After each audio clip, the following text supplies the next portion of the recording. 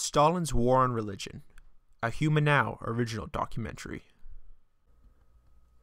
The Soviet Union has an extensive history of persecuting followers of religion. However, between the years of 1929 and 1941, the Soviet Union experienced a period of heightened religious repression under Joseph Stalin's regime.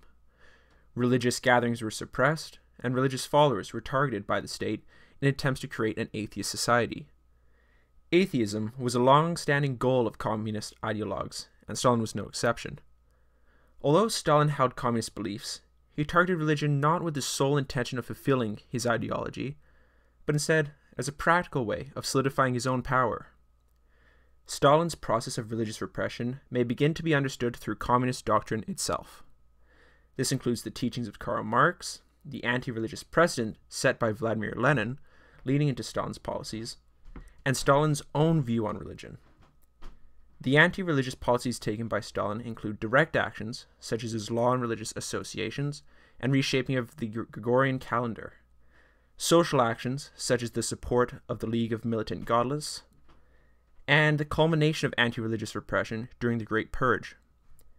The proof of Stalin's power oriented motive for repression of religion may be drawn from the state undermining influence religion gives individuals and his relaxation of aggressive anti religious policies during and after World War II when it served his own purpose.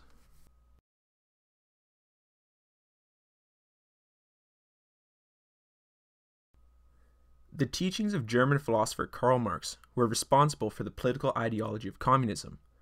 Marx largely concerned himself with attempting to explain the laws of history, specifically with a focus on the economic means of production. Marx divided the world into oppressive bourgeoisie factory owners and the downtrodden working class proletariat.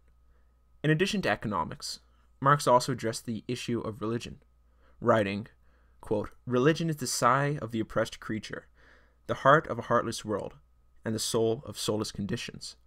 It is the opium of the people.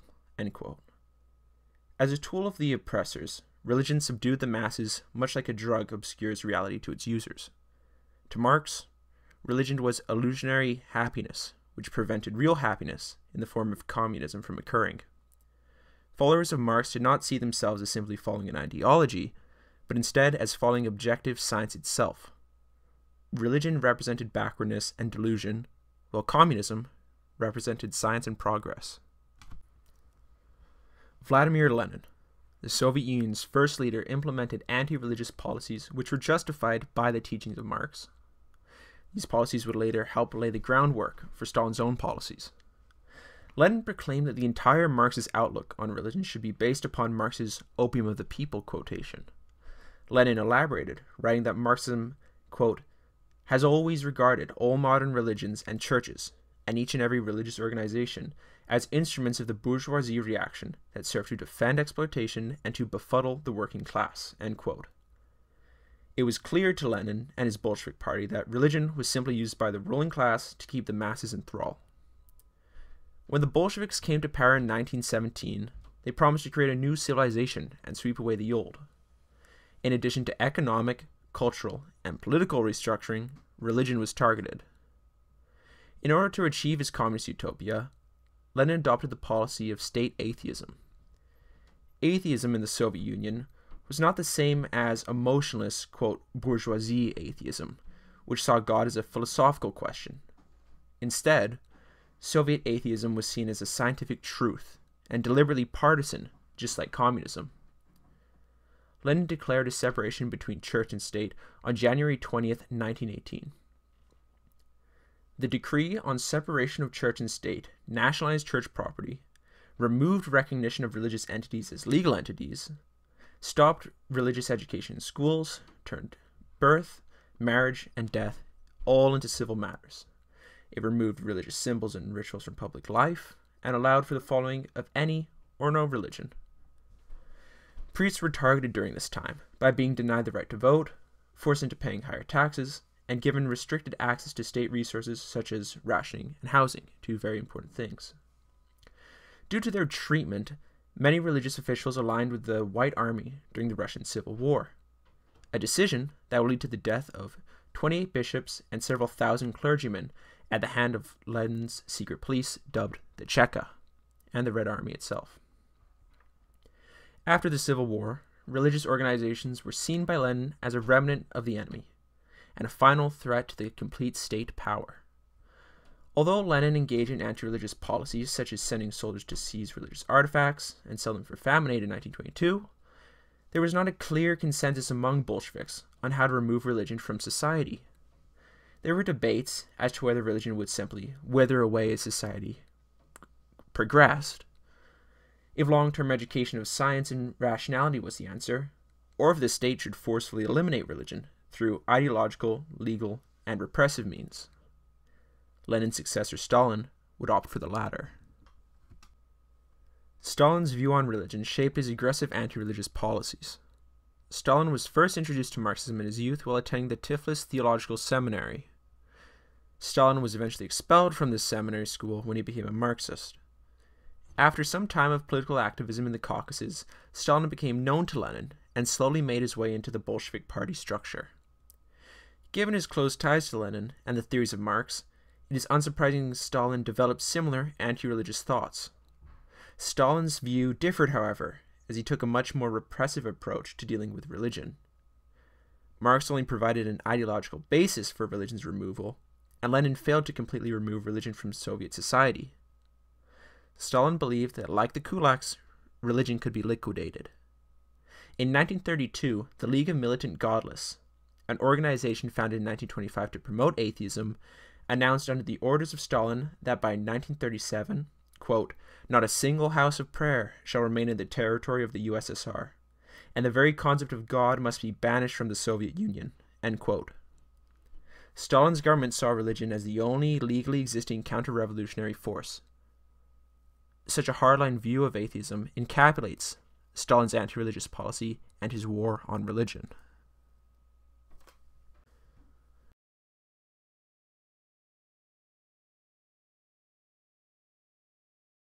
Soon after consolidating his power over the Soviet Union, Stalin would implement laws to directly repress religious citizens.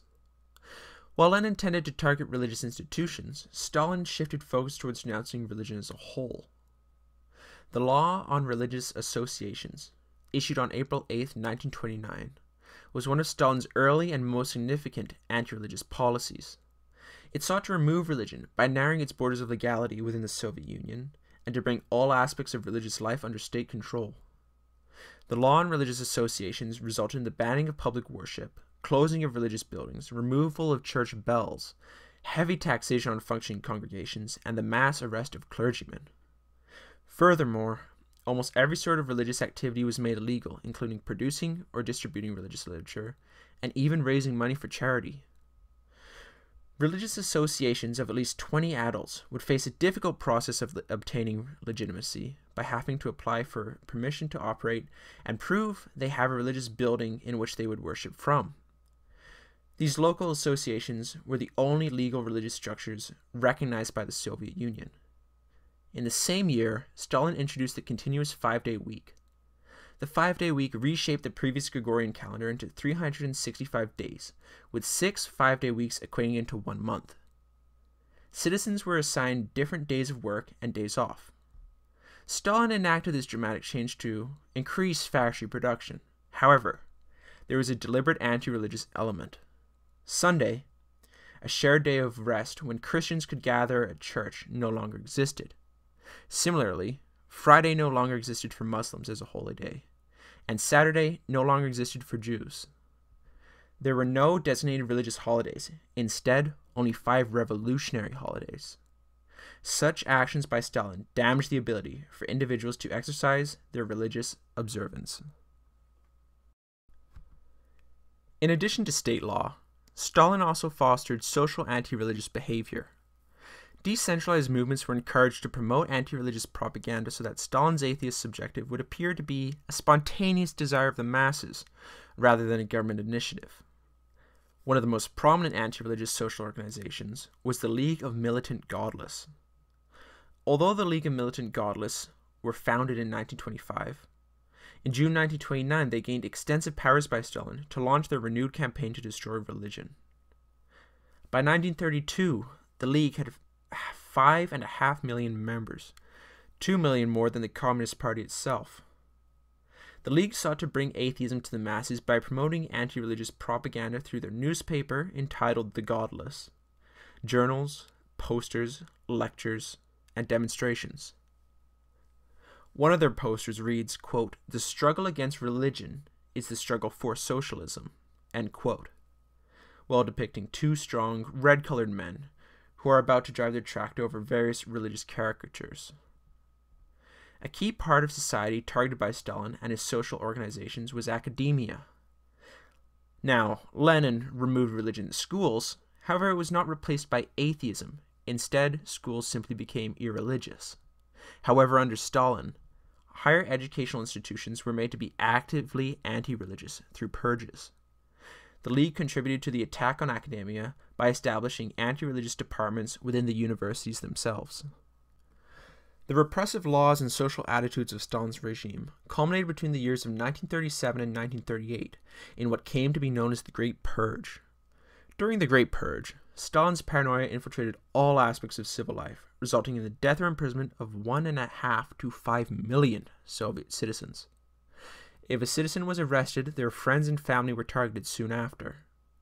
Stalin sought to purge any alleged dissident element of society, now, due to the historical context of communist doctrine, religious members were a prime target.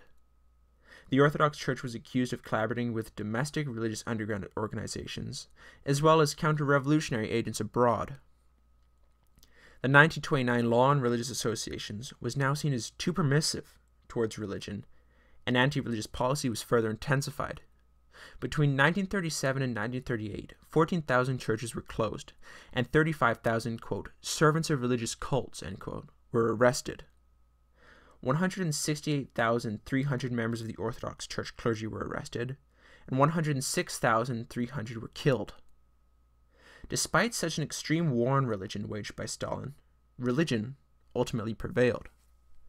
A 1937 census of 98,412 people saw 56.17% of respondents identify as believers.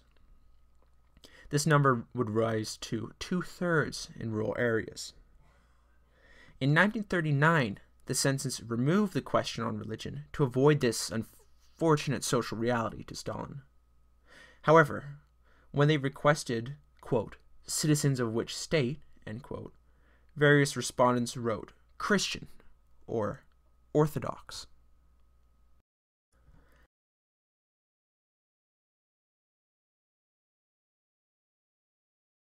Despite Stalin's reference to communist doctrine during his war on religion, his true motive was to solidify his own power.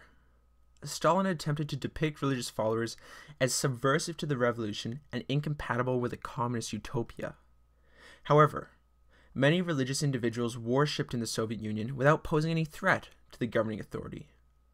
This is especially true in the countryside.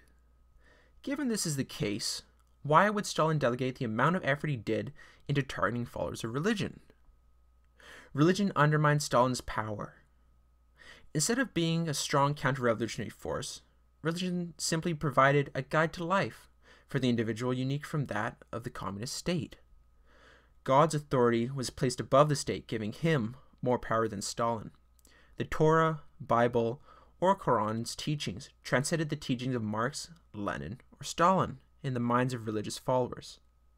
Religious texts received more authority than those which the Communist Party based their authority upon. By extension, religious institutions who preached the Word of God could be seen as rivaling the political influence of Stalin in the minds of believers. Religion provides a unique set of moral principles which cannot be changed. Without religion, the state decides social moral principles which citizens must adhere to. For example, the mass murder of alleged enemies of the revolution is acceptable under Stalin's moral code, but not that of most religions. The war on religion was not waged with the sole intention of fulfilling communist doctrine, but instead, it served to benefit Stalin himself. The war on religion would solidify Stalin's political power by stopping the political influence of religious institutions and solidify his social power by suppressing the beliefs of individual religious followers. Further evidence that Stalin's war on religion was based on his desire for power rather than following of communist doctrine can be seen with his shift in attitude during World War II. When German soldiers occupied parts of the Soviet Union, they began to encourage the revival of religion among inhabitants by reopening churches. This was a deliberate attempt to undermine Stalin's regime. In June 1941, at the time of Germany's invasion, there were several hundred churches across German occupied Soviet territory, such as Ukraine and Belarusia. By 1944, this number reached approximately 10,000. Continuing to pursue anti religious policy would hurt Stalin's rule, as it could encourage Nazi sympathy among Christian followers within occupied lands. Inside Soviet controlled territories, the Nazi invasion created a rise in patriotism among Orthodox Church followers. Stalin recognized that he could use religion for his own power by tying the Orthodox Church to Russian national identity. In this process, Stalin relaxed many of his anti religious policies.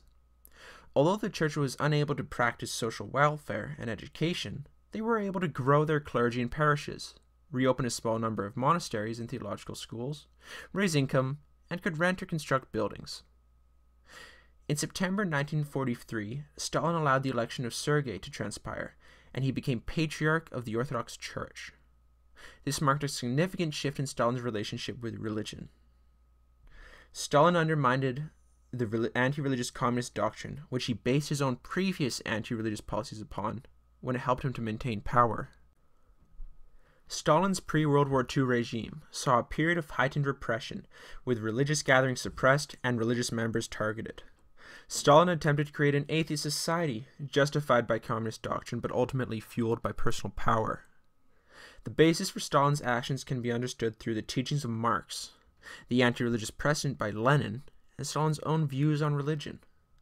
Stalin's anti religious policies can be analyzed by being broken down into direct actions such as his law on religious associations and reshaping of the calendar, social action such as support for the League of Militant Godless's activity, and the culmination of anti religious repression during his Great Purge. By understanding Stalin's context and actions, his power oriented motives can be analyzed in relation to the state undermining influence of religion and his eventual relaxation of anti religious policies when it served to maintain his position of power.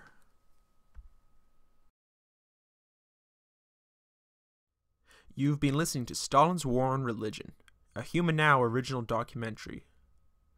If you like what you heard, please consider subscribing for more content such as this. Also, you can find us on Instagram at huma.now. Thanks for listening.